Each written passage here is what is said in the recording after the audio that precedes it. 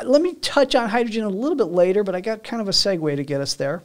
Um, so, in this treasure trove of information that was on the Out of Spec Dave interview, um, I learned a lot about your past. You're um, kind of a, a, BMW guy in some ways, having started out with uh, the the Mini, and then ultimately, um, you know, made your way to the i3, right? So the i3 is an interesting thing for me, all right, and I'm going to look to you for some guidance and poke some fun at it at the, at the beginning and then get serious with the i3. I came here um, as a, uh, a, a lease person, and we were renting space here at Munro from my former company. And I would walk by this BMW i3 that they had torn down, this carbon fiber and aluminum, fantastic piece of engineering. And at first I was kind of repulsed by the way it looks, and then it kind of grew on me, you know. And every time I walked by it, I got more and more attracted to it. Munro was selling the data for the car at that time for a half a million dollars.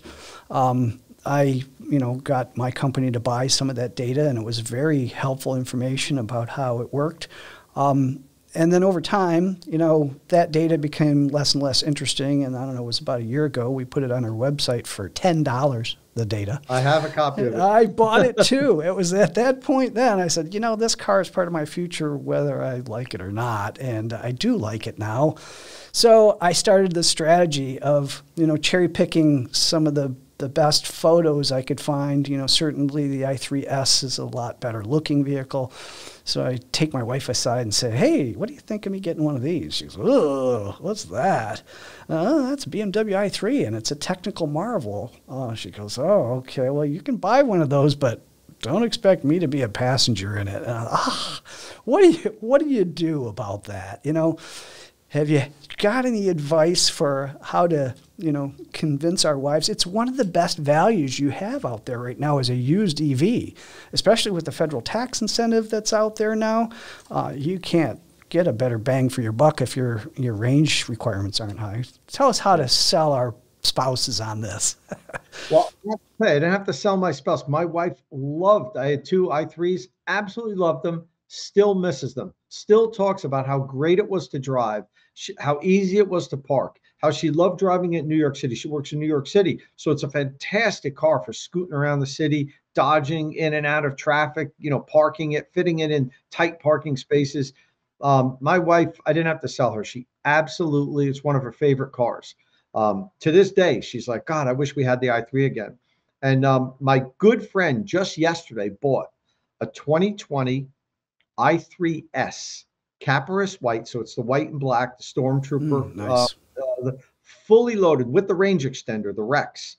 Got it for twenty seven thousand. Mm. A twenty twenty with twenty eight hundred miles. Oh my God!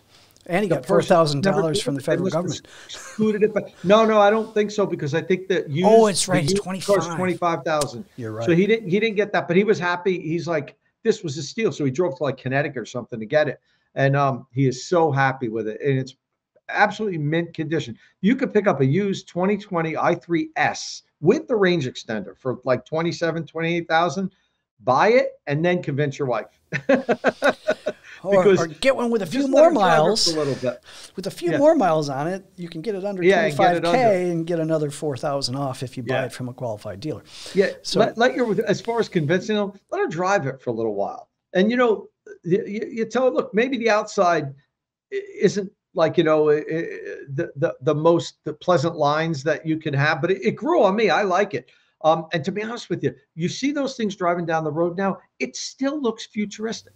It does. It's 10 years old. That launched 10 years ago this month hmm. in Europe. And uh, it's a 10 year old car. It looks more modern than 99% of the cars. Maybe than anything but a Cybertruck, right? What what else looks more modern than an i3 going down the road? You know, like or more futuristic. So, so I mean, there's more to the story that you have, I'm pretty sure, because you got T-boned at 45 miles an hour driving yours, and you're here to talk about it. So, what was that like? You know, um, were you fearing that the car would light on fire? Was there carbon fiber all over the place? What was your experience after that accident? Yeah, no, um, I wasn't fearing a fire. I actually, so I was at a stopped at a at a red light. My light turned green, so I started going through the intersection, and as I got right through the middle of the intersection, this was a very busy road. Person coming uh, across me didn't realize their light had turned green. They actually said they were looking at the radio, so they were going 45 miles an hour. So just just T-boned me 45 miles an hour, right in the passenger side of the vehicle. And the interesting thing is, the car like flexed in and like bounced back. Like, you know, it, it, I, I like saw the like the door like come in and then it like bounced back to shape. So it was it was really weird that like um I guess plastic door panels and you know I mean there was damage inside the door panels and everything. But when I got out and walked around the car, it didn't like you knew it was in an accident, but it didn't look like crushed in. Like the, the all the panels were back out to where they were supposed to be. Yes, the there was the frame cracked, so that totaled it. Um, the the carbon fiber frame where the battery pack is broke, but um, I wasn't afraid. Um, I didn't I didn't even give it a second thought about it going on fire. To be honest with you, it's just you know that jarring when you get hit at 45 miles an hour, and I was going like maybe 10 miles an hour. Just starting to go through the intersection. You know, it kind of shocks you for a second, and then you just get there and like, okay, I was just hit and uh, I seem to be okay. You know, um, that eh, that was tough. But I, I, have another, if we have time, another interesting, uh, quick segue into talking about wondering if the car went on fire. Wasn't my first accident in an electric car. Back in 2012, um, do you do you know what the Act BMW Active E was? I do. It, they didn't bring okay. it out, but it was a teaser. It was a pilot program, mm-hmm. and I was in it.